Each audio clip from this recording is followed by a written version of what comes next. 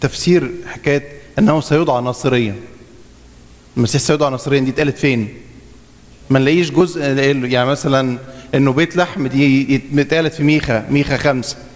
إنه أنت يا بيت لحم إفراط التي الصغرى بين رؤساء يهوذا لأن منك يدعى مدبر يرعى شعب إسرائيل ومخارجه منذ القديم منذ أيام الأزل. فنبوة واضحة صريحة.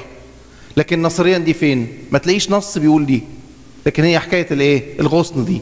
والغصن نتصار. بال بال بال بالعبري نتصار. كلمة نتصار يعني غصن وفي نفس الوقت هي هي كلمة إيه؟ البلد اللي اسمها الإيه؟ الناصرة نتصار. آه هنكمل بنعمة ربنا الرحلة بتاعتنا في أسفار العهد القديم أو النظرة التاريخية على العهد القديم. النهاردة آخر واحدة.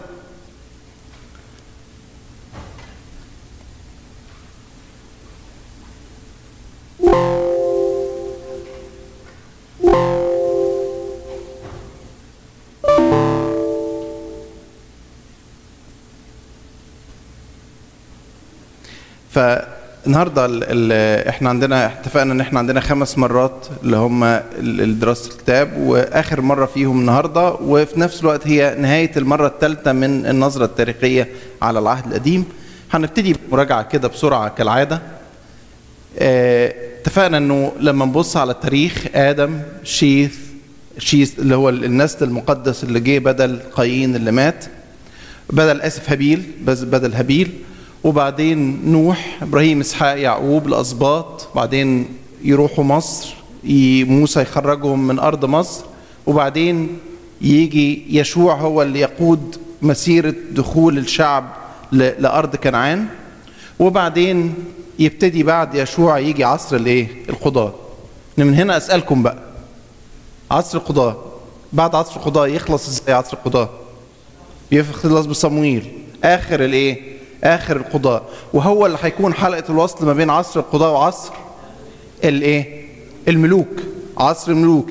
الملوك المملكة الإيه؟ الإيه؟ المتحدة. يعني إيه المملكة إيه؟ آه المملكة الواحدة. اللي هي إيه؟ اللي كان يحكمها ثلاث ملوك اللي هم مين؟ اللي هم آه شاول وداوود وإيه؟ وسليمان. يحصل إيه بعد كده؟ من يحصل انقسام. في عهد مين؟ رحب عام مش كده؟ رحب عام. ويبقى في وقت رحب عام ده ابن سليمان تنشق المملكة لأنه ما سمعش للنصيحة بتاعت الناس الكبار ما رضاش يخفف الشغل وتقل الشغل على ال ال ال الناس. فرفضوا إنهم إيه إنهم ينصاعوا له أو يخضعوا ليه. وراحوا انضموا لمين؟ يرب عام. يبقى عندنا رحب عام ويرب عام. وبقى في مملكتين من اليوم دوت. مش كده؟ بقى في عندنا مملكتين. أول مملكة مملكة هناخد يهو عايزين نبتدي بالشمال. مملكة الشمال. مملكة الشمال هي إيه؟ إسرائيل. مملكة الشمال إسرائيل. كام سبط؟ عشر مملكة السما... الشمال مملكة إسرائيل عشر أسباط. ماشي؟ العاصمة بتاعتها السامرة عاصمتها السامرة. وال ال... ال... تنتهي إزاي؟ تنتهي بسبي مين؟ أشور. تنتهي بسبي أشور سنة 722 أو 721 قبل الإيه؟ الميلاد. ماشي؟ المملكة الثانية بلاش. بلاش. مملكة الإيه؟ أكيد الجنوب مش كده؟ كام سبت؟ اتنين. عشرة واتنين. اتناشر. العاصمة بتاعتها أورشليم اللي فيها العبادة. مش كده؟ ال ال ال يحصل لها سبي برضو. إمتى؟ على دين بابل. سنة؟ طب نحفظ التاريخين دول. 722 و586 ماشي؟ صعبة؟ 586 صعبة؟ 722 سهلة؟ طيب خلاص يبقى انت خلي خد انت 722 ونخلي حد تاني. حنان تاخد 700 586 فيبقى المملكة يحصل الايه؟ يحصل الانقسام. النهارده هنتكلم عن سبي مملكة يهوذا دي بالذات. لأنه تم على أكثر مرحلة. اتفقنا أنه مملكة إسرائيل مملكة إسرائيل المملكة الشمالية دي خلصت. طبعا في ناس منها رجعوا وانضموا ليهوذا لأن إحنا اتفقنا أنه مملكة إسرائيل لما حصل الانقسام الملك الشرير يربعام بتاعها عمل إيه؟ قال فكر فكرة يعني شريرة أنه إذا أنا مع ما ضمنتش ما أمنتش إن الشعب يفضل في حضني بالذات في مسألة العبادة. الهيكل فين؟ تبع مين؟ مملكة يهوذا. فبدل ما الناس يروحوا كل شوية يحجوا يحنوا لا أنا أقول لهم إيه؟ أنا هجيب لكم إيه؟ هعمل لكم عبادة هنا. في الشمال وفي الجنوب في شمال وجنوب المملكة بتاعتي. عمل لهم إيه؟ جاب لهم عجلين وقال لهم دي الآلهة اللي خرجتكم من أرض مصر ودو نفس القصة. بتاعه إيه أيام ما عبدوا الايه العجل؟ وقال لهم ما تروحوش ولا تيجوا. ناس قبلت وطبعا ده كان بقى بقى العبادة الرسمية للمملكة الشمالية بقت عبادة وثنيه عشان كده ربنا طبعا غضب على المملكة وانتهت بأنها اتثبت. والاشوريين زي ما قلت لكم كانوا يعني متوحشين جدا وكانوا من من سياساتهم إنهم ياخدوا الناس من أماكنهم وينطروهم في بقية الايه المملكة أو الإمبراطورية. لأنه القوى العظمى كانت تحارب وتاخد العالم. تملك العالم القديم كله. فينطوروا الناس ويجيبوا ناس من إيه؟ من الأماكن التانية اللي هم متحكمين فيها ويحطوهم في إيه؟ في الأماكن اللي خدوها. فبقى جابوا ناس من من أماكن متفرقة وحطوهم فين؟ في مملكة إسرائيل. وانتهت المملكة على كده. لكن مملكة يهوذا كان لازم تفضل, ليه؟ لأن عشان يجي منها المسيح. عشان يجي منها الايه؟ المسيح. فيحصل السبي وبعدين يحصل العودة على ثلاث مراحل. عشان كده النهارده هنركز كلامنا على ال... إزاي السبي حصل وازاي العودة حصلت ومين ال... الأنبياء اللي كانوا بيتكلموا في الوقت ده. وبالتالي الأسفار. عشان كده لما نقرأ الأسفار إحنا هدفنا إن إحنا إحنا اتفقنا اللي بنقوله يساعد نقرأ الكتاب المقدس إزاي. ما يضمنش إن إحنا نفهم كل حاجة بس يدينا شوية إيه؟ تصور الدنيا ماشية إزاي؟ إمتى استير ديت؟ إمتى رعوس؟ رعوس؟ إحنا خلصنا رعوس ولا لسه؟ رعوس. رعوس. خلصنا رعوس ولا لسه؟ إيه يا جماعة؟ رعوس. إيه؟ يشوع قضاء رعوس عشان ترتيب الأسفار مش كده؟ وبعدين عذرا نحامية. كويس. يبقى ما فيش بينهم حاجة؟ كويس. ترتيب الأسفار. طيب أقول لك طب لو جينا مثلا لهوشع. هوشع بعد متأخر. يبقى هوشع أكيد بعد عذرا ونحامية صح؟ ها؟ هوشع بعد عذرة على فكرة أحيانا لما بنعمل الحكاية دي بنعمل إيه؟ نجيب شوية أسماء ونقول نرتبهم عشان نتأكد إنه إيه؟ إيه؟ آه الأحداث عذرة بعد هوشع بعد عذرة ولا قبل عذرة؟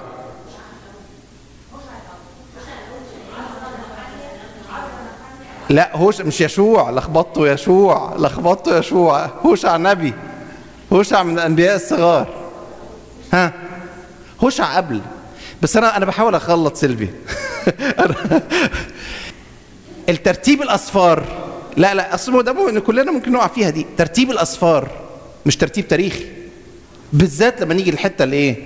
بعد الأصفار التاريخية. هوشع ده من من قبل قبل مثلا واشعياء قبل ال ال ال بعد الانقسام بس بس بعد المملكة. وأستير بعدهم بكتير وعزرا بعدهم بكتير. فالترتيب الإنجيل مش ترتيب تاريخي يا جماعة؟ أنا لخبطت لكم الدنيا أنا آسف. لخبطت لكم الدنيا صح؟ مش كده ماجد؟ أنا أحب ماجد. أيوه أنا بحب بس أنت اللي بتقول لي الحقيقة. يعني. أنا عايز أوصل إنه ترتيب الإنجيل مش ترتيب تاريخي. رعوس أنا سألت لكم رعوس خلصناها ولا ما خلصناهاش؟ ما خلصناش مش عشان هي ترتيبها في الأسفار بعد لكن لأن رعوس مين؟ آه مؤابيه بس تبقى تبقى فين في التاريخ؟ كانوا هم راجعين من السبي. لا. قبل داوود رعوز جدة داوود. هي اتجوزت عبيد اللي هو أبو يسة أبي داوود. وعشان كده اتكلمنا عنها المرة اللي فاتت. واضحة؟ أستير. أستير بقى. هنتكلم النهارده دي لسه متأخرة قوي. ده مش عشان سفرها جه قبل أو جه بعد سفر رعوس لأنه في هوشع بعد كده جه قبل. قبل أستير. واضح الفكرة؟ فالترتيب بتاع الأسفار مش ترتيب تاريخي. ماشي؟ فالنهارده هنتكلم فين فين أستير؟ فين فين زكريا اللي اتكلمنا عنه دلوقتي؟ فين زكريا دوت؟ إمتى في التاريخ؟ ماشي؟ هنتكلم اولا عن مراحل السبي. ومراحل السبي إحنا هنا بنتكلم عن مملكة إيه؟ مملكة يهوذا اللي هي مملكة الجنوب اللي هي عاصمتها اللي هي حصل لها السبي إمتى؟ 586 اللي اللي اللي سابتها مين؟ بابل. كويس قوي معلش ما تتضايقوش من الإيه؟ تكرار يعلم الإيه؟ الشطار فالمراحل إيه؟ المراحل اتفقنا إنه حصل سبي للمملكة الشمالية وخلصت. 720 قبل الميلاد على إيدين أشور. وفي الوقت دوت أشور تحتك بمملكة يهوذا.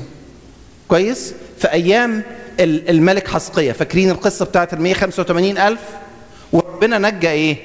حسقية لأنه كان ملك بار. قصة مهمة ليه؟ اتكلمنا عنها المرة اللي فاتت. تقول لنا إنه لما يبقى فيه إنسان القائد قائد روحي يجيب البركة للإيه؟ لشعبه والقائد لما زي ملك نينوى مثلا ما بنتكلمش عنه ما نعرفش اسمه لكن راجل إيه؟ نجى الإيه؟ نجى المدينة اللي كان محكوم عليها بالإيه؟ بالانقلاب. فحسقية عمل زي ما اتفقنا لما جه سنحريب آه وراح بعت المنشور وقال له لازم أنتوا ما فيش حد وقف قصادي وانت وإلهك مش هيقدر يقف قصادي. فعمل إيه؟ خد المنشور وعمل إيه؟ قلناها المرة اللي فاتت. حطه قدام ربنا في الهيكل. مش شغلتي؟ قال له هو بي ده بيتكلم عليك أنت يا رب ما بيتكلمش عليا. وعشان كده ربنا إيه موت 185 إيه؟ 185 ألف. لكن زي ما اتفقنا المرة اللي فاتت إنه إيه؟ إنه الدنيا ما بتدومش على حال إيه؟ على حال واحد. لا بتخلي اللي فوق فوق ولا اللي تحت تحت. مش كده؟ فأشور تنتهي ويجي مين اللي يغلبها؟ بابل. هنا نلاقي إن الكلام ده سنة 608 هي من قبلها ابتدت ال ال القوة العظمى تنتقل من دايما في قوة عظمى مش كده؟ زي في كل وقت بس دلوقتي إيه؟ أمريكا تقريبا اللي على الساحة. كان في وقت أمريكا وروسيا روسيا بتحاول دلوقتي تطلع وهكذا الصين في الصورة يعني نفس القصة كده فأشور ابتدت تنتهي وطلعت مين؟ بابل لحد ما في 608 مملكة بابل أنهت على مملكة إيه؟ على مملكة إيه؟ أشور وبقت هي القوة الإيه؟ العظمى. كانت القوة العظمى برضه في وقت دوت كانت مين؟ قلنا أشور وبابل دول في الشرق ومين في الغرب شوية؟ مصر. وكان إسرائيل في النص، يهوذا في النص، مملكة اليهود كانوا في النص. فيا شوية ينحازوا لدول وشوية ينحازوا لدول. والمشكلة لما أولاد ربنا ينحازوا لإيه؟ ينحازوا لحد ويفتكروا إنه ده اللي هيحميهم مش مش تتكلم على إيه على ربنا وكان يكون ده غالبا ده هو السبب إنهم إيه إن إنهم ينتهوا طبعا لما مثلا ما اليهود ينحازوا لمصر فلما تيجي بابل تتغلب يحصل إيه؟ تنتقم منها تعلمها لإيه؟ إنه يعني ما تنحازوش لإيه؟ للأعداء بتوعنا.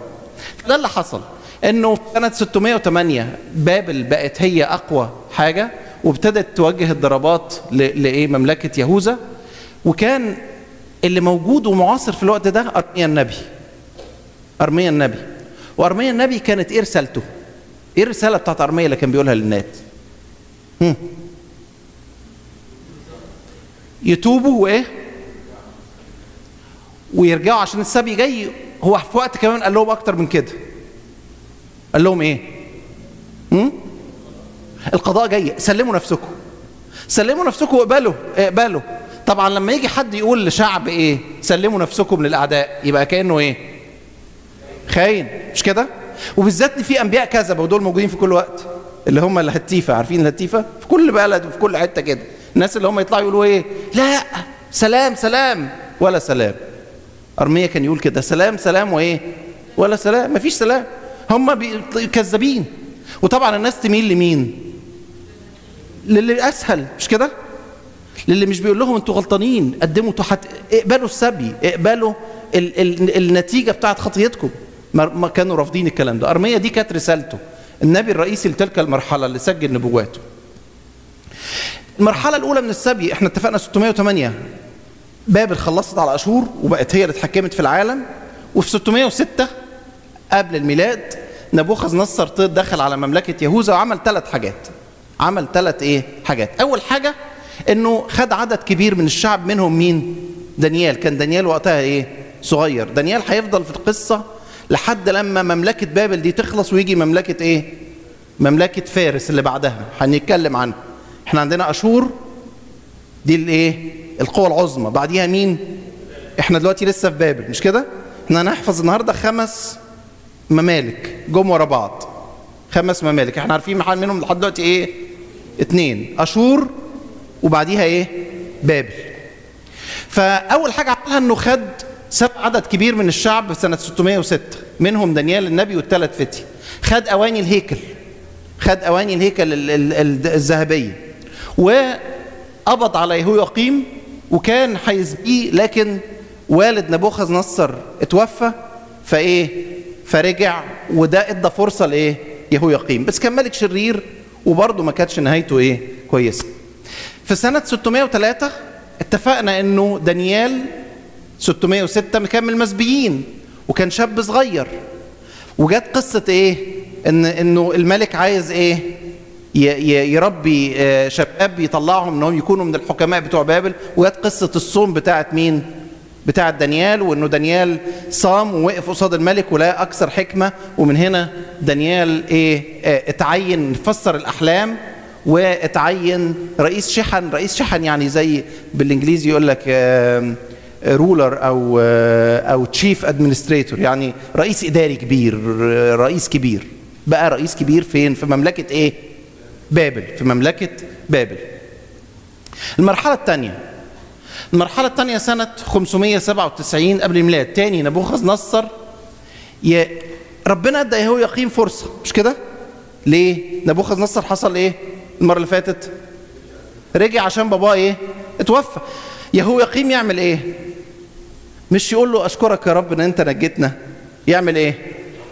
يروح ينحاز لمين؟ آه طبعا عباده أوثان كانت موجودة. وكمان يعمل إيه؟ ينحاز لمين؟ يروح يطمن في حضن مين؟ مصر. مش كده؟ اشور راحت خلاص.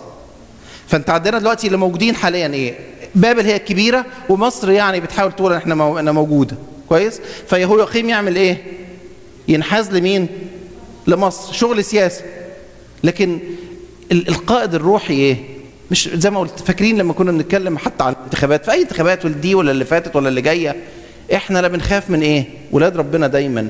لا اتكالهم على حاكم ولا بيخافوا من إيه؟ من حاكم. لا بيخافوا من حاكم شرير ولا اتكالهم على حاكم كويس.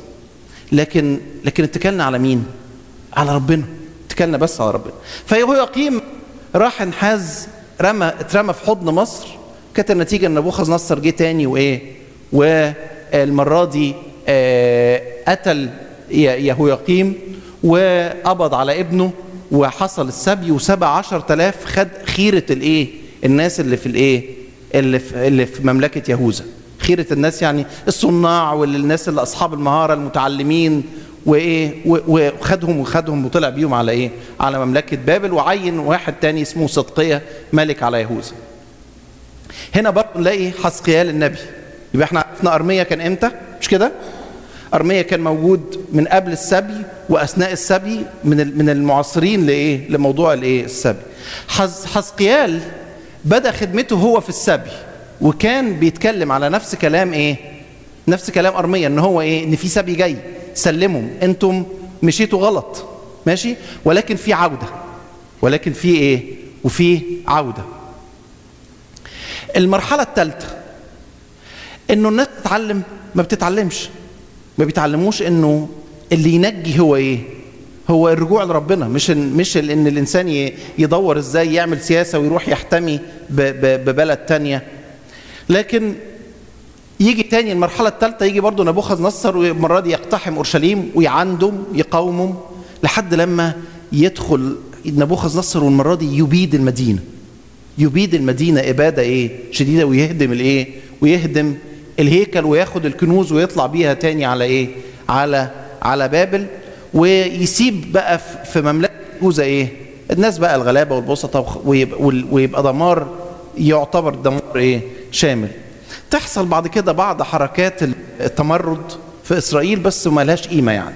وكانت بسهولة يتم إحباطها يعني. في وقت 583 يجي واحد اسمه نبوزردان دوت برضه من بابل والتمرد اللي حاولوا يقوموا بيه ينهيه تمام. يبقى إحنا اتكلمنا عن ثلاث مراحل للسبي. أنا قلت المرة اللي فاتت بسرعة الحتة ديت. فاحنا عندنا 606 597 586 واتكلمنا ان الأنبياء اللي كانوا معاصرين للسبي دول مين؟ دول ارميا وحسقيال إحنا. مين الأنبياء الكبار؟ ارميا حسقيال. ها؟ اشعيا ارميا حسقيال دانيال. مش كده؟ ودول النبوات الكبيرة. كام كتبوا كام سفر دول؟ خمسة. ليه؟ عشان ارميا ومراسي ارميا اشعيا كان بدري 740 وتنبأ لمملكة أكتر مملكة إسرائيل اللي خلصت دي. ماشي؟ يبقى اشعيا كان بدري. ارميا وحسقيال كان وقت الإيه؟ كان وقت السبي. ارميا اتنبأ قبل السبي وقال لهم سلموا نفسكم. حزقيال اتنبأ وسط الإيه؟ أثناء السبي وقالنا كلام زي كلام إيه؟ ارميا دانيال دانيال إيه؟ قال هيتكلم عن الرجوع. دانيال برضه إيه؟ دانيال كان من المسبيين كان من المسبيين وقصته تقع في إيه؟ في, في وقت الإيه؟ السبي. دانيال عصر السبي كله عصر الرجوع. يعني ما رجعش لكن عصر حتى الرجوع كان موجود لحد ما فارس بقت هي الإيه؟ المملكة العظمى أو القوه العظمى في وقتها. واضح؟ يبقى إحنا كده خلصنا. إحنا بنقول إحنا ماشيين في رحلة وبنتكلم على الأسفار. طبعا زي ما بقول لكم ده مش معناه إن إحنا نقرأ حسقيال وهنقرأ أرمية هنبقى فاهمين كله. لكن عارفين إيه الرسالة؟ بيقولوا عن إيه؟ لما إيه؟ لا سلام سلام سلام ولا سلام. لأنه الناس كانوا بيقولوا في إيه؟ سلام. وهو الرسالة بتاعته من ربنا إنه إيه؟ لا أنتوا غلطتوا اقبلوا التأديب اقبلوا التأديب. يبقى دي مراحل الايه؟ السبي يقعد السبي كام سنة؟ سبعين سنة. طبعا مش سبعين بالظبط. وسبعين محسوبة منين؟ محسوبة من ليه بنتكلم عن ثلاث مراحل؟ صحيح النهاية كانت سنة 586 لكن الحساب بتاع السبي يبتدي منين؟ من 606 واضحة الفكرة؟ فالسبي يقعد حوالي 70 سنة تبتدي من 606 لحد 538 يحصل إزاي الرجوع؟ برضه لإيه؟ الدنيا بت إيه؟ بتلف. مش كده؟ بابل اللي كانت فوق يحصل لها إيه؟ تنقلب تنتهي. على ايدين مين؟ على ايدين فارس. على ايدين مملكة إيه؟ فارس. آه السبي فيه إيه؟ فترة السبي. فترة السبي اليهود يعيشوا في في في, في بابل ويحسوا بالحنين وتلاقي عشان كده غالبا مثلا مزمورة على أنهار بابل هناك جلسنا بكينا عندما تذكر على الصفصاف في وسطها علقنا عندما إيه لما قالوا لنا صلوا اللي قال لنا تسبيحة من تسابيح إيه صهيون. كيف نسبح تسبيحة الرب في أرض غريبة؟ كل الكلام ده على إيه؟ على على بابل. وتيجي سيرة أدوم. اذكر يا رب أدوم في في يوم اورشليم قالين انقضوا انقضوا حتى الأساس منها لأن الأدوميين دول وقفوا يتشمتوا في إيه؟ في اليهود والسبي بيحصل لدرجة إن لما كان حد يهرب يجيبوه يسلموه فكانوا شمتانين في الإيه؟ شمتانين في الإيه؟ في اليهود. آه ال ال السبي اتحدد في نبوات أرمية اتكلم عن الإيه؟ اتكلم عن إن السبي مدته إيه؟ مدته 70 إيه؟ 70 سنة. ونلاقي الكلام ده في الشواهد ديت. الكلام ده موجود عندنا في الورق اللي معانا. يجي بعد كده الملوك بلشسر دوت بعد نبوخ بعد نبوخذ نصر ويجي دانيال يتكلم عنه لما لما ظهرت له الكتابة إنه كان قاعد يشرب في الإيه؟ يشرب في أنية الانيه الذهب بتاعه الهيكل. فربنا يقول له إن مملكتك إيه؟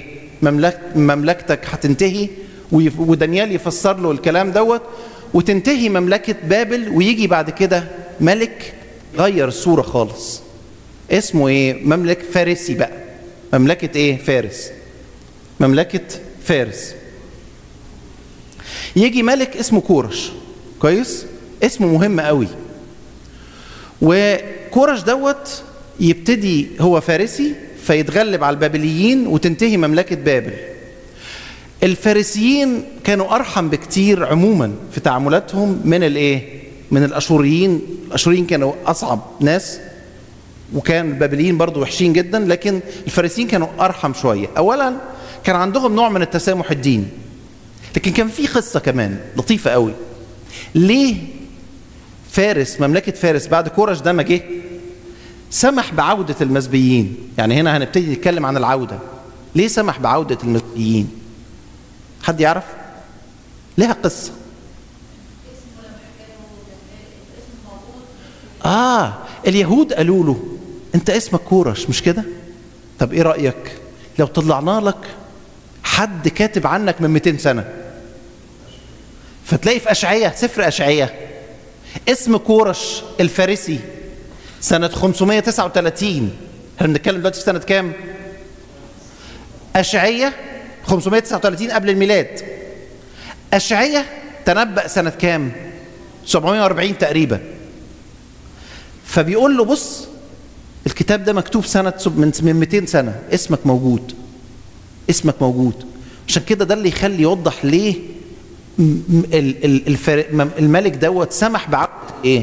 المسبيين بسهولة. صحيح الفارسيين كانوا أطيب من البابليين وأطيب من الأشوريين لكن لكن كانت في نبوات. قالوا له انت عارف ان ربنا إلهنا؟ إدى نبوه لواحد من الأنبياء بتوعنا اسمه اشعيا أهو اسمك موجود فيه. واضحة الفكرة؟ ها؟ معايا ولا مش معايا؟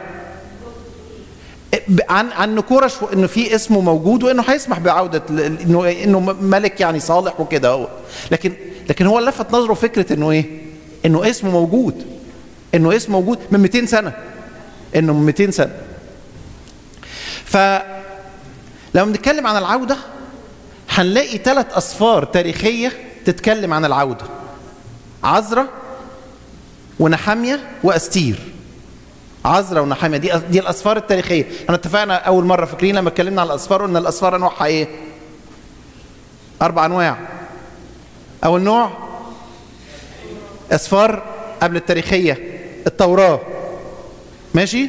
وبعدين الأسفار التاريخية. وبعدين الأسفار الشعرية اللي هي زي المزامير والأمثال والجامعة والنشيد. وبعدين الأسفار النبوية اللي هي أنبياء اللي هي الأنبياء الكبار الخمسة والصغيرين الإيه؟ كام؟ الصغيرين الأنبياء الصغار كام؟ 12 إيه؟ 12 نبي. وليه صغيرين؟ عشان نبواتهم صغيرة مش عشان مش في الحجم القدر أو في المقام يعني. ففي ثلاث أسفار تاريخية اتكلمت عن العودة من السبي عزرا ونحامية وأستير معاهم بعد السبي بعد العودة من السبي. وثلاث أسفار نبوية اللي هم تل... آخر ثلاث أسفار حجاي وزكريا وملاخي. ماشي؟ يبقى أثناء السبي مين الأنبياء اللي كانوا بيتكلموا أرميا وحسقيال. مش كده؟ وعشان كده المراثي المراثي بعد ما شاف السبي ابتدى إيه؟ يبكي مش كده؟ يبكي على الارميا وحسقيال كانوا معاصرين للسبي. بعد السبي يجي إيه؟ حجاي وزكريا وملاخي. هنتكلم قالوا إيه وكانوا إيه الرسالة بتاعتهم؟ كان في رسالة مهمة. عشان كده لما نقرأ السفر نفهم ليه هم بيقولوا كده. يعني لما تقرأ مثلا في سفر حجاي يقول لك مجد هذا البيت الأخير يكون أعظم من مجد الأول. إيه بيت الأخير وبيت الأول؟ ما في هيكل اتهدم وفي هيكل جديد هيتبني والناس مش متخيلة إنه ممكن يتبني تاني هيكل زي هيكل سليمان. واضحة الفكرة؟ أنا سبقت شوية بس أنا بقول لكم إن في أنبياء ما بعد السبي. إزاي أقرأ السفر؟ فأقول دي معناها إيه؟ دي لها خلفية تاريخية. واضحة الفكرة؟ واضح ولا بقوله؟ أرجوك لو في حاجة مش واضحة قولوا لي؟ يبقى عندنا ثلاث أسفار تاريخية وثلاث أسفار إيه؟ نبوية. بعد ما تولى كورش قلنا اتفقنا 539 هو تغلب على البابليين وبقى هو اللي بيتحكم في في في العالم القديم دوت.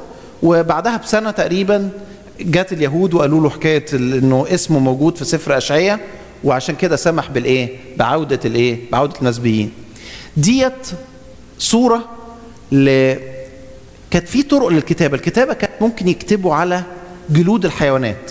دي كانت طريقة للكتابة. ال ال بعد كده في وقت الأشوريين والبابليين بقت الكتابة على ألواح من الطين أو الخزف. كان ممكن يكتبوا أصفار كاملة. على ألواح من الخزف. يا لوح يا إما اسطوانات بالشكل ده. الاسطوانة دي موجودة في المتحف البريطاني. عليها إيه؟ عليها قرار كورش الملك بعودة المسبيين. دي موجودة في المتحف البريطاني. هي دي صورتها بالظبط. دي ده ده اللي مكتوب عليها هنا دي كتابة. كل ده ده اسطور كتابة. ده الملك بي بيأمر بعودة الإيه؟ بيأمر بعودة المسبيين يهود إنهم يرجعوا تاني لإيه؟ لأرضهم. يرجعوا تاني لأرضهم. السبي حصل على كام مرحلة؟ كام مرحلة؟ على ثلاث مراحل مش كده؟ 606 597 و 586 مش كده؟ العودة ثلاث مراحل برضه. والثلاث مراحل كل مرحلة فيها اسم كبير هو اللي عام هو اللي قاد الإيه؟ المرحلة ديت. ماشي؟ فالعودة أول فوج سنة 538 رجع حوالي 50 ألف واحد غير الأطفال والنساء بقيادة واحد اسمه زروبابل ده كان من نسل الإيه؟ من نسل الملكي رجع وهو اللي قاد المسبيين ورجع أول ما رجع ابتدى يعمل إيه؟ طبعا أورشليم في حالة إيه؟ في حالة دمار مش كده؟ فابتدى يعمل إيه؟ يبني ابتدوا يعمروا وأهم حاجة عندهم يعمروا إيه؟ يبني الهيكل ابتدوا يبنوا في الإيه ابتدوا يبنوا الهيكل وعملوا مبن... الأول حاجة عملوها عملوا مذبح للمحرقة. مذبح بس لأنه مفيش هيكل لسه. مش كده؟ فعملوا مذبح واحتفلوا هناك بعيد اسمه عيد الايه المظال. المظال لأنه ما كانش عندهم هيكل فقعدوا في إيه؟ في مظال يعني. وابتدى يحط حجر الأساس لل... لل... للهيكل وابتدى يعلم الشعب التسبيح وابتدى يحاول يعمل إيه؟ يعمل نهضة بعد الايه بعد الرجوع. طبعا تقوم دايما في قلاقل وحاجات تعطل وابتدت ناس تشتكي إن اليهود دول إيه ال ال بي بي بيقاوموا وبيضايقهم فعشان يوقفوا الإيه البناء بتاع الهيكل. وفي نفس الوقت في وقت كورش دوت تحصل قصة إيه تحصل قصة جب الأسود بتاعه إيه دانيال. يبقى دانيال يحضر وهو شاب صغير يحضر مين؟ يحضر نبوخذ نصر ويفسر له الأحلام ويحضر قصة بلشسر ويقول له الكتابة اللي كانت انه وإنه هيموت نتيجة إنه بيستهين بأنية ال ال الهيكل وبعدين تتقلب الأمور ويجي الفارسيين ويبقى هو مع إنه ملك كورش كان كويس لكن الناس قالوا إيه؟ قالوا انت تعمل ما تعمل تمثال واللي يعبد غير التمثال يموت ويترمى إيه دانيال في جب الأسود وتحصل قصة جب الأسود في عصر مين؟ في عصر كورش ماشي؟ فدانيال عصر إيه؟ عصر فترة طويلة من الزمن. آه بقول زي ما قلت لكم يحصل إنه بعد ما ابتدوا يبنوا الهيكل ابتدت ناس تشتكي ضد اليهود خلي بالك اليهود دول ناس بيعملوا مشاكل ما تخليهمش يبنوا الهيكل بتاعهم ويتوقف بناء الهيكل بعد ما يبتدي يتوقف حوالي مدة آه 15 سنة كويس؟ وبعدين ربنا يبعت رسائل تشجيع لزروبابل يقول له ما توقفش البنى ربنا حي إيه؟ هيغير قلب الملك. يعدي كام ملك بعد كورش ويجي ملك تاني اسمه داريوس وهيسمح بالإيه؟ بالبنى وهنا تيجي بقى النبوات بتاعت مين؟ نبوات بتاعت حجاي وزكريا. زي ما قلت لكم حجاي عشان كده حجاي تلاقوا إيه؟ ال ال ال النبوة حجاي تبتدي إزاي؟ تبتدي يقول لهم يعني كويس ليكم إنكم قاعدين في بيوتكم اللي, اللي مبنية. ابتدوا يبنوا بقى خلاص رجعوا وابتدوا يبنوا بيوت لهم والبيت إيه؟ بيت ربنا توقف البنى خلاص ما في الأمر صادر بالتوقف. بس هم أهملوا الموضوع. فحجاي رجع عشان يقول لهم إيه؟ دخلتم كثيرا وإيه؟ وحصدتم القليل. تأكلون ولا تشبعون. تلبسون ولا تدفؤون. يعني عندكم حاجات بس مش مبسوطين بيها ليه؟ عشان ما فيش بركة. ليه؟ عشان أنتم قاعدين في بيوتكم وسايبين بيت ربنا إيه؟ خراب. وقال لهم ما تخافوش مجد البيت الأخير يكون أعظم من مجد الأول. يعني إيه؟ يعني أصل في ناس كانوا من اللي رجعوا من السبي شافوا الهيكل بتاع زمان شافوا هيكل سليمان بمجده كله. فقالوا يعني هتبنوا إيه؟ إيه الهيكل اللي هتبنوه؟ مش ممكن هتبنوا هيكل يجي حاجة جنب هيكل سليمان. فجم الأنبياء دول اللي زي زكريا وحجاي قالوا لهم إيه؟ قال لهم ابنوا الهيكل. مجد البيت الأخير يكون أعظم من مجد الإيه؟ الأول. ما تخافوش. المجد مش في إنه الذهب والفضة. المجد في إيه؟ في حضور إيه؟ في حضور ربنا وربنا هيبارك. وعشان كده ربنا سمح إنه إيه؟ يبتدي الداريوس دوت سمح تاني إنه الايه الهيكل يبتدي يتبنى. وبدأ الشعب يكمل البنى بتاع الهيكل. وبعد أربع سنين اتبنى الهيكل ودشنوا الهيكل وعملوا عيد الفصح في الايه؟ في الهيكل. مسألة البنى دي خدت حوالي 22 سنة. فيهم فترة توقف في النص حوالي إيه؟ 15 أو 16 إيه؟ أو 16 سنة ونص يجي بعد كده اسم أحشاويرش. أحشاويرش ده يفكركم بإيه؟ تيجي قصة أستير. وأستير يهودية ومردخاي وأستير تتجوز الملك بتاع إيه؟ بتاع فارس اللي هو احشاويرش دوت. ويجي هامان ويدبر القصة بتاعت إيه؟ إنه يهلك كل الإيه؟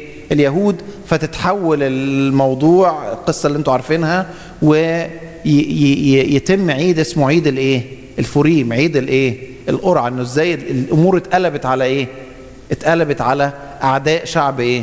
أعداء شعب ربنا. عشان كده أستير تيجي إيه؟ واضحة الفكرة؟ فاستير كسفر جت قبل اشعياء لكن اشعياء قبل أستير بإيه؟ هوشع قبل أستير بكتير زمنيا. لكن ترتيب السفر ترتيب إيه؟ بعد. ماشي؟ فإحنا اتكلمنا كده عن حجاي وزكريا وملاخي. اتكلمنا عن ارميا وحزقيال ودانيال. مش كده؟ اشعياء قلنا ده بدري. واتكلمنا عن الأسفار التاريخية عزرا وإيه؟ ونحامية. وأستير. لسه هيجي كلام طبعا عزرا ونحامية لسه. إحنا قلنا إن أول فوج رجع هو مين؟ بقيادة مين؟ زروبابل مش كده؟ وده اللي قام بعمل بناء الهيكل. الفوج الثاني يرجع سنة 457 وديت يهمني. أنتوا خد... في ناس بعض منكم خد ورق مكتوب فيه 475 يا ريت نصلحها. آه ما إحنا صلحنا البعض وفي البعض ما تصلحش. فالعودة سنة تاني تاني فوج رجع رجع سنة 457 اتأكدوا إنها متصلحة في الورق. العودة 457 مش 475. الفوج الثاني دوت رجع بقيادة عزرا يبقى إحنا اتفقنا إن يهمنا في الرجوع الثلاث أفواج دول يهمنا ثلاث أسماء أول فوج رجع بقيادة زروبابل الثاني بقيادة عزرا عزرا ما بناش بالدرجة الأولى. ما عملش ما قامش ببنى. لكن عمل إيه؟ ها؟ عزرا عزرا كان ده, ده ده كاتب يهودي. ده كاتب يهودي. عمل إيه؟ هم. هم؟ قرأ السفر الشريعة. قام بالتعليم. عمل تعليم. وكان حصل زيجات مختلطة ما بين اليهود وما بين الإيه؟ ما بين ال ال ال البابليين والشعوب التانية. فوقف ضد دوت وكان الشعب خلاص نسيوا الشريعة ولغتهم اتغيرت. عارفين؟ زي مثلا ولادنا مش كده؟ لغتهم اتغيرت مش كده؟ فما بقوش عارفين يقروا. فعزرا كان كاتب فكان عارف الشريعة كويس. فابتدى يقرأ لهم وايه ويترجم لهم للي مش عارفين.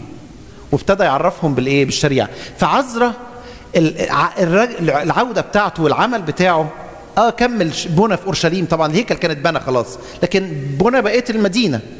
اشتغل في البنى بس أكتر من البنى اشتغل في إيه؟ في التعليم. في النهضة الايه في النهضة الروحية. وكتب سفر إيه؟ كتب السفر بتاعه اللي هو سفر إيه؟ سفر عزرا. الفوج الثالث الاسم الثالث اللي هو مين؟ نحمية نحمية رجع سمع الأخبار وهو في أورشليم. كل بيسمع آه الهيكل اتبنى. أورشليم بتتبني المباني بتتبني. لكن السور المدينة ملهاش سور. تخيلوا مدينة ملهاش سور. تخيل بيتك كده ملوش لا باب ولا شباك. آه في بيت حيطان في حيطان موجودة لكن مفيش أمان مش كده؟ إيه بيت من غير باب وشباك؟ بالظبط. مدينة ملهاش سور. لأن أنتوا عارفين زمان كان في حروب وإيه اللي يحمي؟ هو الإيه؟ أسوار الإيه؟ أسوار المدن. فسمع إنه مفيش أسوار. فدخل للملك اللي هو كان اسمه أرتحشستا دوت سنة 445 ودخل وصلى أنتوا عارفين القصة إن هو وقف وصلى ودخل للملك وكان شكله إن هو إيه مكمد الوجه يعني إيه شكله متضايق ودي طبعا دي حاجة وحشة إنه يقف قصاد الملك بالشكل ده. لكن دخل فقال له مالك؟ قال له أنا إزاي إزاي أسمع إن مدينتي منهدمة وأبوابها محروقة بالنار وأسوارها منهدمة وأبقى مبسوط؟ قال له طب خلاص عايز إيه؟ ال ال ال عايز مواد عشان أروح ابني. قال له فأعطاني حسب يد إلهي الصالحه إيه؟ عليا مش كده؟ ورجع وكان في مقاومات. كان في مقاومات. لكن نجح إنه يبني السور في 52 في 52 يوم. فاكرين القصة بتاعت الناس اللي كانوا يقولوا له إيه؟ ده لو طلع حتة ثعلب على السور هيوقع السور. فهو كان إيه؟ إنه بيعمل عمل ربنا. قال لهم أنا عامل عمل عظيم. في ناس يقول لك إيه ده كان متكبر؟ لا مش متكبر. هو بيعمل عمل عظيم مش عشان هو عظيم. عشان بيشتغل لمين؟ بيشتغل لربنا. فبيشتغل لربنا العظيم. إذا بيشتغل لربنا العظيم يبقى بيعمل عمل عظيم فمش ما يضيعش وقته في كلام إيه؟ في كلام فاضي يعني. وبنى السور برغم المقاومات وبرضه ابتدى يشتغل هو وعزرة في موضوع تعليم الناس وقراية الشريعة والتعليم. هنا يجي بقى آخر الأنبياء. آخر الأنبياء اللي هو مين؟ ملاخي. مش كده؟ ملاخي ليه حتى الاسم ملاخي جاي من كلمة إيه؟ ملاكي. ليه؟ هو اللي اتكلم عن الإيه؟ ها أنا أرسل أمام وجهك ملاكي ليهيئ طريقك إيه؟ قدامك. هو اللي قال النبوة بتاعت مين؟ بتاعت يوحنا المعمدان إنه هيجي يهيئ الطريق قدام ربنا. وقال كمان نبوة مهمة قوي اتكلم عن ال... عن ربنا إن هو إيه؟ شمس البر بالظبط. اتكلم من الشفاء في أجنحتها. إنه إيه؟ إنه إيه؟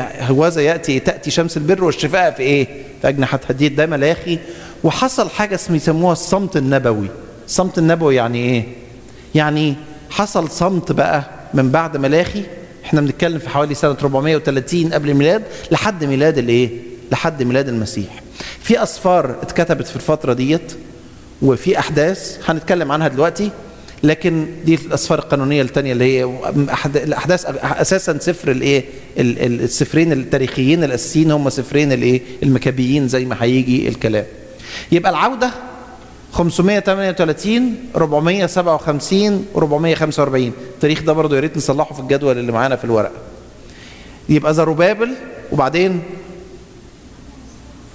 عزرا حامية. تقيل الكلام؟ ها؟ أول واحد أنهون. زروبابل لا صحيح. هل في حاجة مش واضحة أو في حاجة محتاجة نعيدها؟ طمنوني قولي لي حاجة قولي لي لا. آه ده صعب قوي قولوا لي آه ده لا ده سهل قوي كله واضح. قولوا أي حاجة طب ما إحنا معانا الورقة. عشان كده إحنا معانا الورقة. ما هو مش مطلوب إحنا يا ريتنا نطلع بشوية حاجات. نفتكر بس. ال الاسفار إمتى؟ أرمية وحز وقالوا إيه؟ دي يهم دي اللي تهمنا. أقول لكم على حاجة ظريفة. نص ثلاث أرباع اللي بتسمعوها هتنسوه. كويس؟ بس افتكروا إيه؟ افتكروا الاسفار مثلا اتكتبت إمتى؟ مش لازم التواريخ ما يهمنيش تاريخ. يهمني بس إنه ارميا كان بيقول إيه؟ حزقيال كان إمتى وبيقول إيه؟ دانيال عاش إمتى؟ يهمنا نعرف مثلا إنه أشور جت بعديها؟ فارس. مش كده؟ دي دي تهمنا مش كده؟ وبالمناسبة دانيال اتكلم عن ديت. فاكرين الرؤية اللي شافها الملك؟ مش كده؟ حلم بتاع الايه ال ال ال التمثال اللي كان فيه متقسم؟ دي كانت هي الممالك يعني. فيهمنا نفتكر الحاجات دي. وفي نفس الوقت الورقه معانا. ماشي؟ أسئلة؟ نكمل؟ طيب. نيجي بعد كده بقى العصر اللي بعد كده العصر اليوناني الروماني. مش كده؟ دايما كلمة اليوناني الروماني مش كده؟ متحف اليوناني الروماني. لأنه دول المملكتين اللي جم بعد كده. يبقى إحنا اتفقنا عن قلنا أشور بابل فارس يونان رومان. يونان وبعدين الرومان.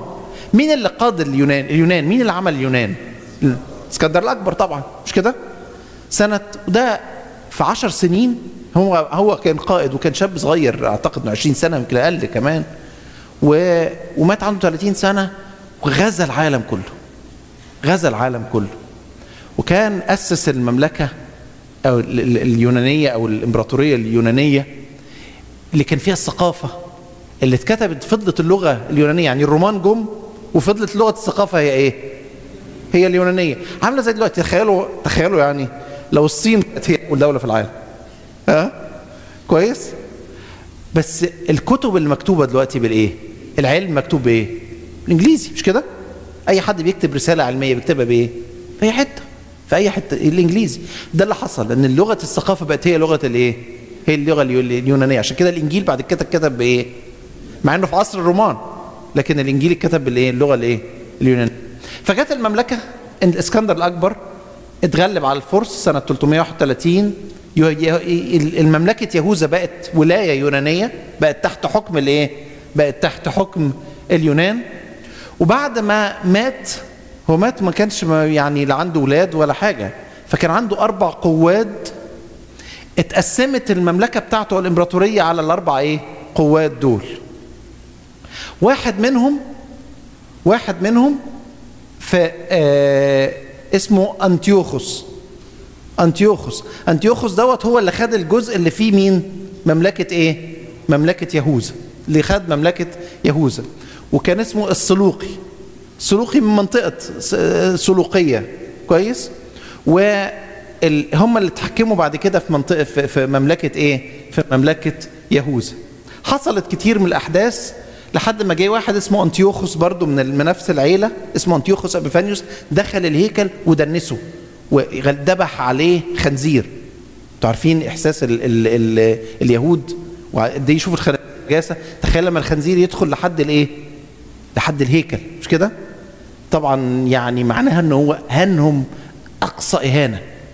يعني يعني يعني حب يجرح مشاعرهم إلى أبعد مدى. فالكلام ده سنة 169 169 قبل الميلاد فجت ثورة. ثورة اسمها ثورة المكابيين قادها واحد اسمه يهوذا المكابي. الكلام ده في سفر الإيه؟ المكابيين. سفرين المكابيين أول وتاني. الاسفار القانونية الإيه؟ الثانية آه، وعمل آه، ثورة. يهوذا المكابي ده كان كاهن. وبعدين عمل انتصار مؤقت. طهر الهيكل. وعملوا عيد اسمه عيد التجديد. فاكرين المسيح احتفل بعيد الإيه؟ التجديد. عيد التجديد ده عيد متأخر. جه في أيام إيه؟ أيام المكابيين. ماشي؟ ويجي أخوه يأسس م- مملكة ال- الأسرة المكابية والحكم المكابي ويبقى اللي هنا إحنا اتفقنا قبل كده مين الثلاث شخصيات اللي كانوا بيتحكمهم في المملكة؟ مين أهم شخصيات؟ الملك والكاهن والنبي مش كده؟ هنا هنا الكاهن بقى هو الإيه؟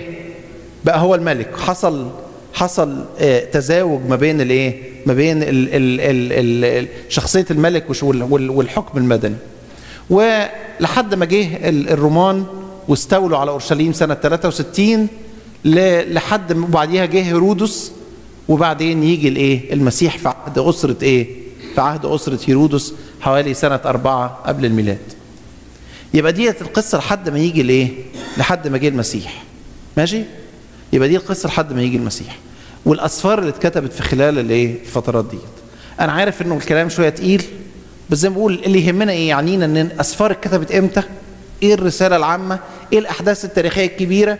إيه التغيرات بتاعة الملوك أو الممالك في الوقت دوت من من أشوريين لبابليين لفارسيين ليونان للرومان؟ آه أنا خلصت خلصت بدري. تسعة الا تلت يعني آه، ابشروا يعني. آه أسئلة ملاحظات. أنا شكلكم قلقني. حقيقي. إيه؟ لا أنا مش زعلان من الخلقه أنا زعلان. من المش... من, ال... من الانطباعات يعني بس. لا واضح الكلام ولا؟ أيوه أيوه اتفضل. أيوه ثلاث حاجات. طب خد المايك بقى عشان تقول لنا ثلاث حاجات.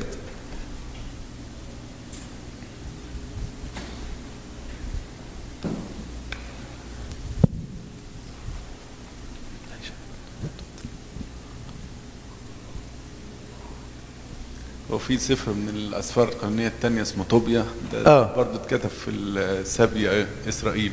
آه. آه. إحنا طبعا ما اتكلمناش على كل الأسفار القانونية الثانية رؤية دانيال آه، زي تتم دانيال آه. زي ما أرميا تنبأ عن رجوع السبي بعد سبعين سنة.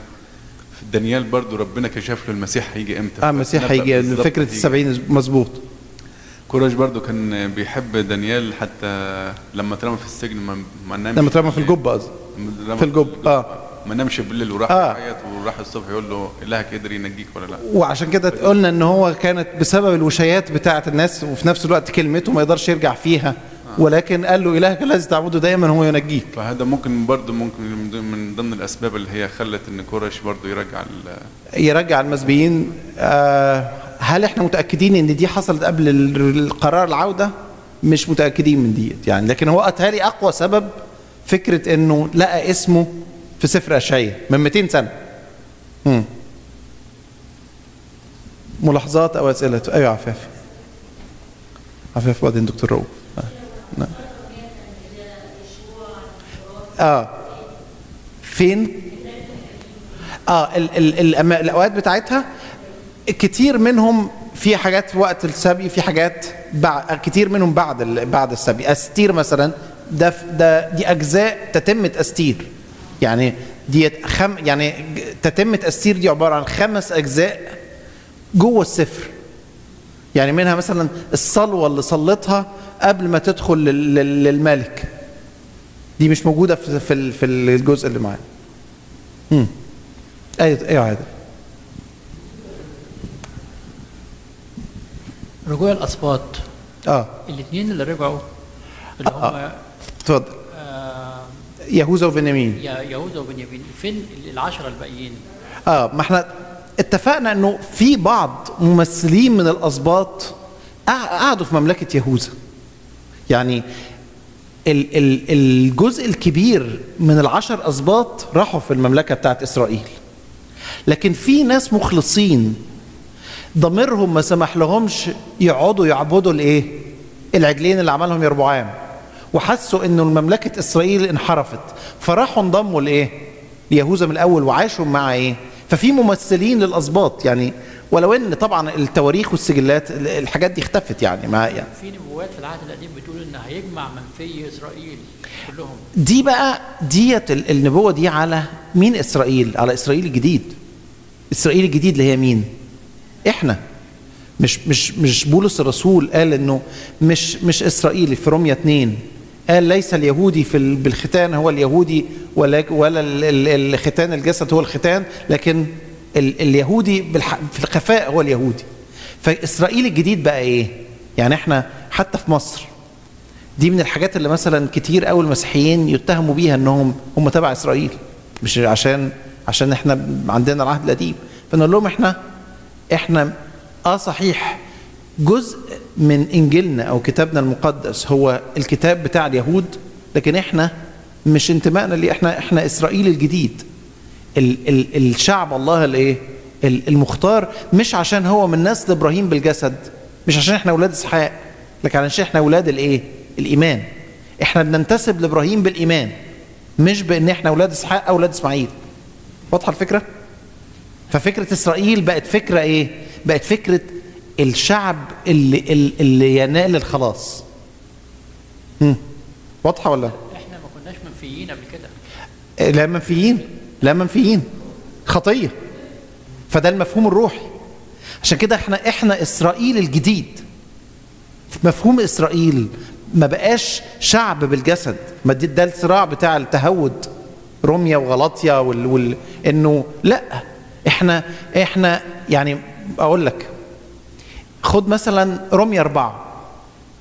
إحنا تهيألي كنا بنتكلم مرة في روميا روميا أربعة مثلا ده إيه؟ إنه عايز يثبت إن إبراهيم أب لجميعنا مش بتاع اليهود بس. واخد بالك؟ فبقى مفهوم إبراهيم م- مش أبو إسحاق اللي منه نسل معين بقى, بقى ده اللي منه جه منه المسيح للعالم كله عشان إسرائيل يبقى إيه؟ يبقى ال ال ال ال الجسد المسيح الكارما الجديدة. برضه رومية 11 يتكلم عن الفكرة دي فكرة إن إحنا طعمنا في الإيه؟ في في الكارما. أو. ذنب إيه اليهودي دلوقتي أو اللي قبل كده إن هو يقرا النبوات دي ويتوقع إن في شيء هيحصل له؟ يعني في هيرجع رجوع هي- هيرجعوا يعني لا مش فاهم سؤالك. يعني دلوقتي أنا دلوقتي كإنسان مسيحي لما أقرأ النبوات دي وأحاول أقول إن دي نبوات تطبق على الكنيسة مثلا. آه. لكن ذنب اليهودي إيه؟ اللي هو ما دخلش الكنيسة ما يعرفش الكنيسة. الحقيقة لكن بيقرأ نبوه واضحة.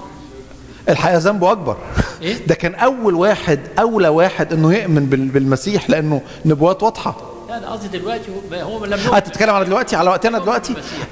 دلوقتي إزاي ربنا بقى يحاسب كل واحد؟ معرفته إزاي دي دي بقى ما عندناش إجابة عنها يعني واخد بالك؟ لكن القاده بتوع اليهود دول طبعا أعتقد إنه ربنا يحاسبهم جدا لأن هم كان أكتر ناس عندهم الإيه؟ عندهم كانوا مبصرين ولا يبصرون وسامعين ولا يسمعون. أكتر نبوة على فكرة استشهد بيها العهد الجديد هي دي. اتقالت يمكن 10 مرات 11 مرة. انهم مبصرين لا يبصرون وسامعين لا يسمعون وإن قلب هذا الشعب قد غلظ. واخد بالك؟ فإسرائيل مفهوم إسرائيل اتغير. بقى مفهوم إسرائيل بقى الايه بقى شعب الله المختار اللي آمن بالمسيح وبقى أولاد إبراهيم بالإيمان مش عشان لا هم ولاد إسحاق ولا هم ولاد إسماعيل. ماشي؟ آه، اتفضل دكتور رؤوف كان عايز يقول حاجة. اتفضل. اتفضل. البلاد الكبيرة اللي اتكلمنا عليها السبي دول اللي هم آه. أشور وبابل آه. وفارس إيه وضعهم في البلاد دلوقتي؟ مين البلاد دي؟ وعلاقتهم بالبلاد الكبيرة بتاعتهم فين؟ نينوى بالنسبة فين العراق؟ فين آه آه. إيران؟ هل هل توضيح ما هو. آه آه.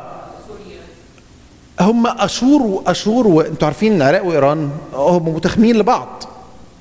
بابل وأشور كان هي منطقة العراق وإيران. وطبعا الحدود بتتغير مع الوقت. دايما يحصل إيه؟ زي مثلا كان في بلد اسمها آه تشيكوسلوفاكيا. دلوقتي بقت إيه؟ تشيك وسلوفينيا. مش كده؟ أو سلوفا أو سلوفاكيا.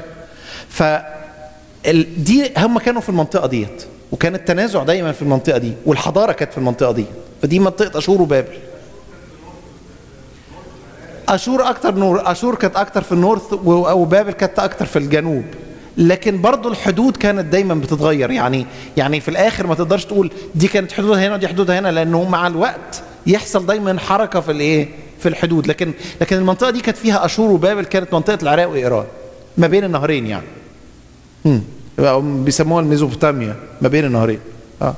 طب علاقة يونان يونان النبي في في في التاريخ ده كان موضوعه إيه في التاريخ ده؟ عشان نتكلم على نينوى آه. وبابل. نينوى انتهت سنة 612 قبل الميلاد. آه. 612 إحنا إحنا ابتدينا لما نبص على القصة بتاعتنا ابتدينا من 608 هنا أهو. 608 انتهت مملكة أشور زي ما اتفقنا. بس نينوى كانت هي عاصمة أشور سقطت من قبل كده 612 لكن ال ال ال ال ال أشور ما كانتش كل مدنها سقطت. قدروا يعني نينوى يتخيل مثلا إيه؟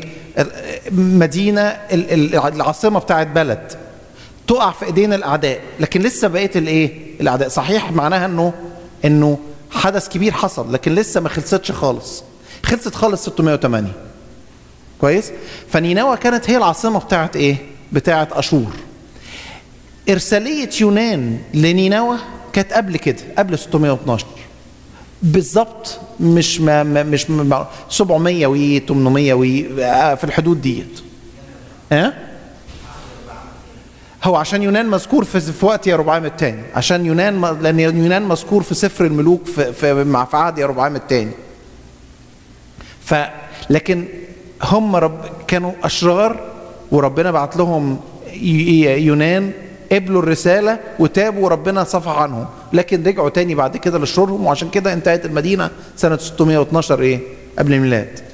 612 قبل الميلاد. عشان كده دي تلاقي فيها في سفر ميخا سفر ميخا يتنبأ عن عن هلاك نينوى بقى.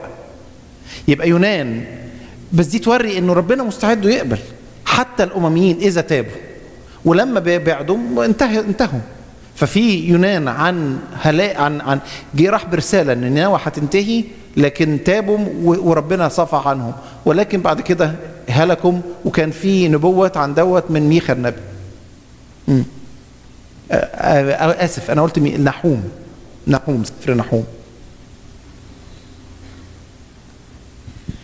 كنت لما بصينا نظرة شاملة على ال على ال التاريخ. على التاريخ فأنا بحسيت إن يد الله تحرك التاريخ طبعا. هل نقدر نقول طيب الحرية ويد الله التي تحرك التاريخ هل بينهم آه. يعني يعني إزاي أقول إن إحنا أحرار 100% ويد الله تحرك الأمور؟ آه، أقول لك هي ماشية مع سؤال دايما نسأله. طب ربنا عنده ناس ناس ما بيخت... في ناس بتقبل وناس ما بتقبلش. ليه؟ هل ربنا بيختار؟ ماشيه مع السؤال ده مش كده؟ ده, ده برضو السؤال الثاني اللي في يوحنا لما بيقول إن الآب يجتذب ليه. كويس. يعني يعني عايز. إزاي الآب عايز قلم عايز قلم أنا هكتب هنا.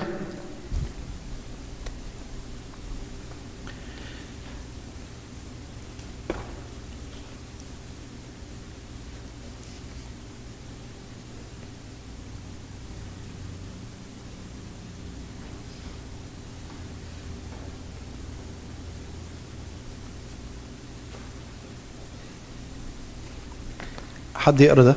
اقرا انت ماجد. اقرا هات لنا مايك إذنك.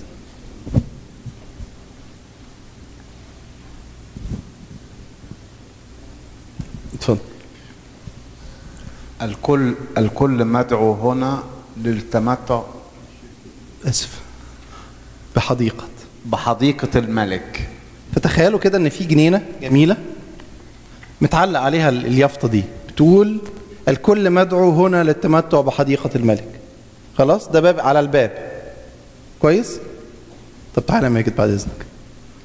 معلش.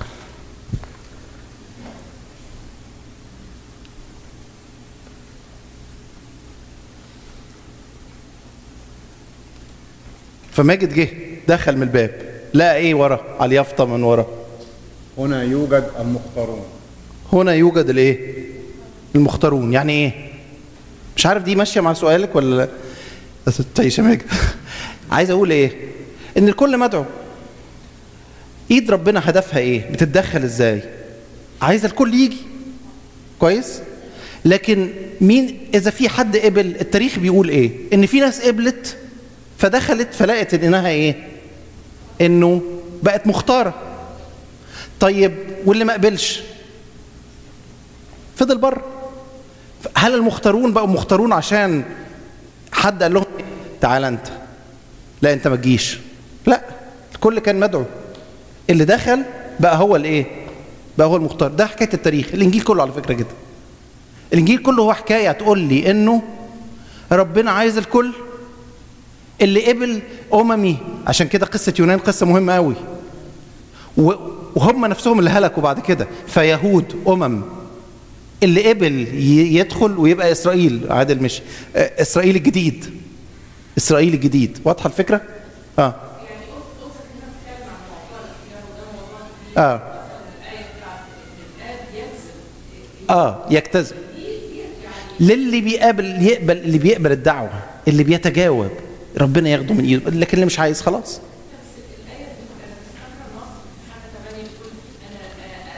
لا يقدر أحد. يأتي الي ان لم يكتذب الآب.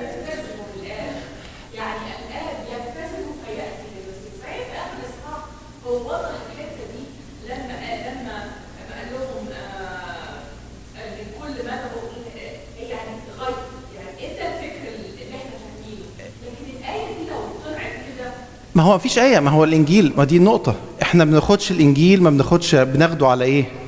أنا اتكلمت على الحتة دي برضو في الأول لما اتكلمنا كيف نقرأ الكتاب المقدس قلت إن الإنجيل بيتاخد على إيه؟ ب... ب... على بعضه. مهم قوي الفكرة دي. مش بس عشان الإيمان يبقى مظبوط لأنه الإنجيل حكاية كاملة. ما أقدرش فاكرين لما قلت لكم تخيلوا قلت لكم إيه؟ وخرجنا الساعة كذا. خ... بتتكلم عن مين؟ دي حكاية من النص. عشان كده الحكاية دي بتاخد على بعضها. فالحكاية على بعضها إنه ربنا بيتدخل في التاريخ بهدف إنه ي ي ي بهدف الخلاص. اللي عايز يقدمه لكل حد. لكن التاريخ بيقول إن في ناس قبلت فنالته وفي ناس رفضت وكان مصيرها الهلاك. دي حكاية الإنجيل. فاكرين في سفر التثنية. لما. تثنية يعني إيه؟ يعني إيه تثنية؟ نعيد تاني. تثنية. لما حب يقول لهم تاني في الآخر جه. عشان يقول لهم الخلاصة قال لهم إيه؟ قد جعلت أمامك إيه؟ طريق حياة لحياة وطريق موت لموت فاختار الحياة لتحيا. ده حكاية الإنجيل كلها. إنه أدي الطريق أهو. في طريق للحياة وفي طريق للموت اختار. مش كده؟ حكاية يجتذبه الآب دي يعني إيه؟ يعني في حد بيقول يا رب أنا مش عارفة بالظبط عاملة زي إيه؟ فاكرين اتكلمت فيها أعتقد راس السنة اللي فاتت. لما ال الشخص اللي كان ابنه عند عليه روح شرير. فقال له. ان إن استطعت أن تفعل شيء فإيه؟ فخلص ابني. فقال له إن كان إن كنت تؤمن كل شيء مستطاع للمؤمن. فقال له أؤمن يا سيد فأعن عدم إيماني. منين أؤمن ومنين عدم إيماني؟ يعني أنا عندي إيمان على قده. بس أنت بقى اللي, اللي, اللي زد زد إيماننا زي ما التلاميذ قالوا له زد ايمان يا رب زد إيماننا.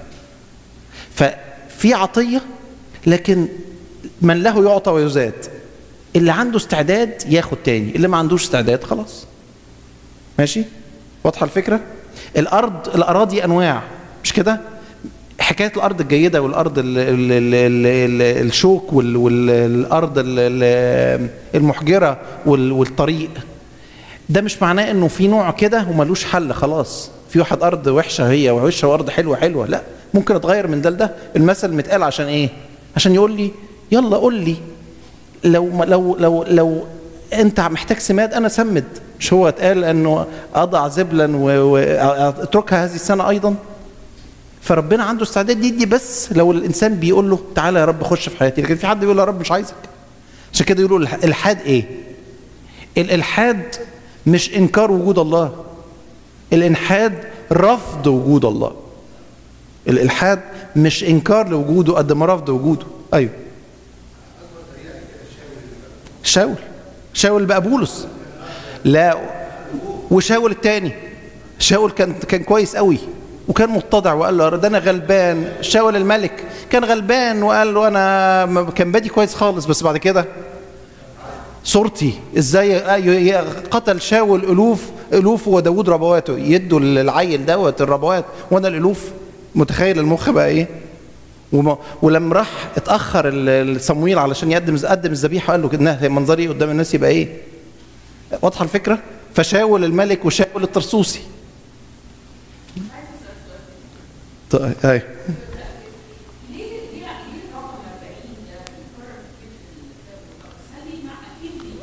آه رقم 40 40 بالذات. هو 40 إشارة لل للتمام. للكمال. هو رقم كمال برضو يعني مثلا أول 40 إيه على فكرة؟ هم؟ لا. في 40 أولا. الطوفان. 40 بتاعت 40 يوم اللي هم فضل الإيه؟ الطوفان. كمال الإيه؟ الدينونة. ف 40 رقم إيه؟ يشير لل... لل... للكمال. آه ليه بقى اشمعنى 40 آه مش عارف. مش عارف بالظبط الحقيقة. أيوه. أربع أركان الأرض في آه ممكن ممكن. هو ده تأمل يعني تأمل. لكن هل ليه ليه بالذات الرقم ده؟ ما أنت ممكن تاخد أه؟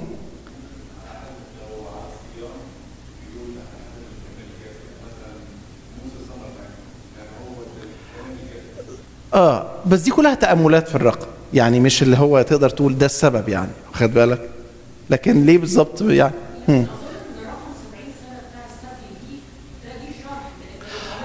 آه. آه. طب هنخش في موضوع هو اللي بتقوله جرمين إيه عشان أقول قالوا ليه ليه السبي حصل 70 سنة؟ لأن كان ربنا قايل لهم إنه إيه إنه السنة السابعة دي سنة يوبيل. سنة راحة. تدي العبد بتاعك تدي راحة للأرض وتدي والعبد بتاعك تطلقه. فرفضوا الكلام دوت. ف من ساعة ما ربنا ادالهم الشريعة ديت لحد ما السبي جه السبعين سنة اللي اتسابوها دي هي ال ال عدد السنين اللي هم إيه السنة السنة سنوات اليوبيل اللي هم أهملوها. واضحة؟ عايز يقول إنه ربنا مش بينسى الايه الاعمال الإنسان. مش بينسى أعمال الإنسان الكويسة أو ال أو الايه أو الوحشة يعني. لكن اللي يهمنا في الآخر إيه؟ عشان برضو ما إحنا الأسئلة كان في كذا- حاجة. اللي يهمنا إنه إنه ربنا بيتدخل في التاريخ لأجل الخلاص هدفه خلاص الكل. لكن إذا الإنسان تجاوب ينال الخلاص. الإنسان رفض هو اللي حكم على إيه؟ على نفسه. الدعوة للكل. اللي دخل هم بقوا الايه المختارين. واضحة الفكرة؟ ال- ال- المثل ده يسهل الموضوع. يعني أعتقد إنه يعني آه، تهيأ ممكن تفتكروه ده مش كده؟ تفتكروها ديت؟ كويس. طيب اتفضلوا نصلي تسعة بالظبط.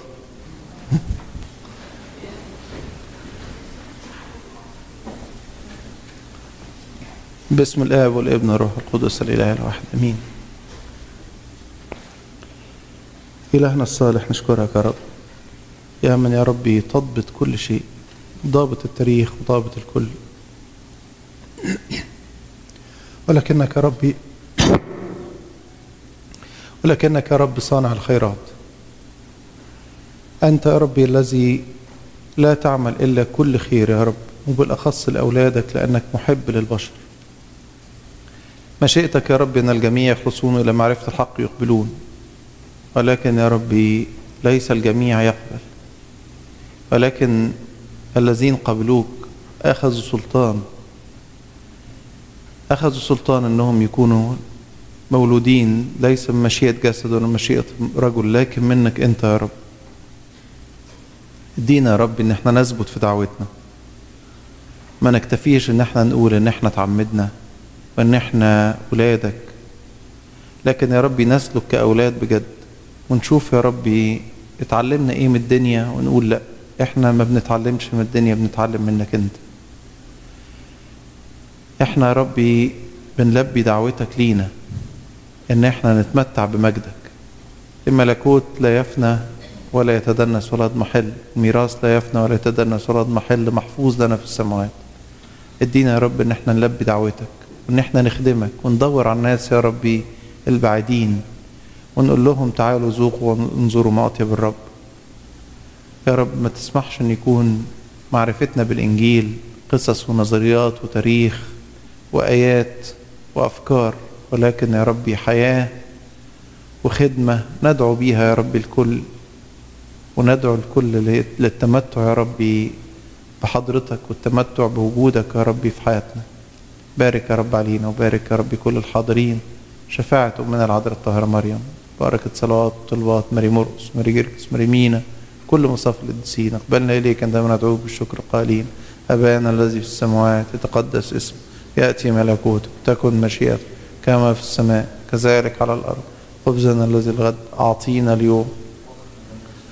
كما نغفر نحن أيضا المذنبين إلينا ولا تدخلنا في تجربة لكن نجينا من الشرير. بالمسيح يسوع ربنا لأن لك الملك والمجد آم محبة الله الآب نعمة الابن الوحيد شركة موهبة عطية روح القدس تكون مع جميعكم بسلام سلام ربكم.